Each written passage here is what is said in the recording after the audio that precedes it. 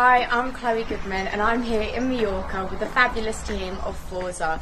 Now today we're shooting the results of my 10 week training plan and I've lost around about a stone and I never thought I'd be able to do it and I'm over the moon because now I get to wear my bikini range um, over the summer this year.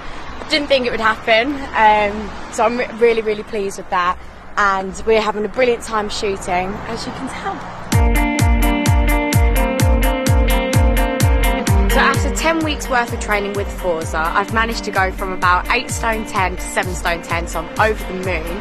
I couldn't believe that I've actually managed to get rid of my jelly belly because the overhang, the main areas where I actually put on weight was always around the love handle area and the lower abdominal area. I'm even more pleased that I get to wear my bikinis this summer because it's fast approaching, obviously.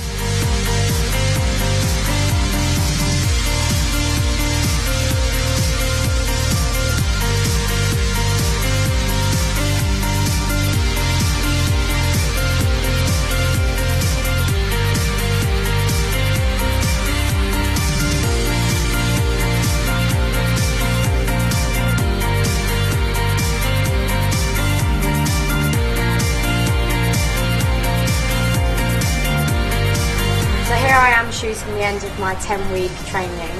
Um, thanks to Forza, I've managed to lose probably four inches off my waist and my lower abdominal. That was the area that was really stubborn and um, had, was full of pockets of fat, and I was really struggling to shift it for quite a while.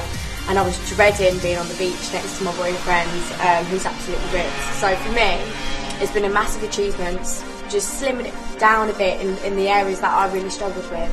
So I'm, I'm really pleased because I would never be able to wear a bikini like this